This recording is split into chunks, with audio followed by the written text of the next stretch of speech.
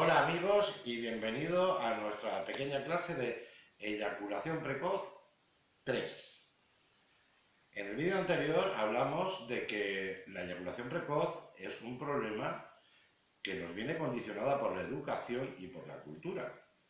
No suele ser un problema físico ni biológico, ni siquiera psicológico, es cultural, es de educación. ¿Y por qué es así? Pues muy sencillo. Cuando somos niños nos enseñan, pues en lo que ahora se llama el machismo generalizado, a que un hombre puede desarrollar con naturalidad su sexualidad y no pasa nada. Eh, y una mujer, bueno, pues que la reprima al máximo, que tampoco va a pasar nada. Y en ese proceso no tenemos ningún tipo de educación sexual. La primera vez que lo hacemos mal, como nuestro ciclo eh, funciona de manera completa, hemos disfrutado, hemos tenido de todo y no hemos pasado divinamente y así no pasa nada.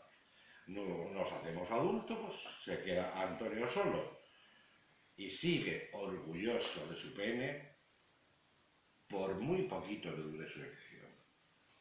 Mientras tanto, nuestra amiga Luisa pues sigue dándole a la investigación en cómo ser feliz con una sexualidad completa. En este caso, hace uso de las bolas chinas. Es maravilloso. Continuaremos poquito a poquito que ya sabemos de dónde nos viene ese problema. Hasta la próxima amigos.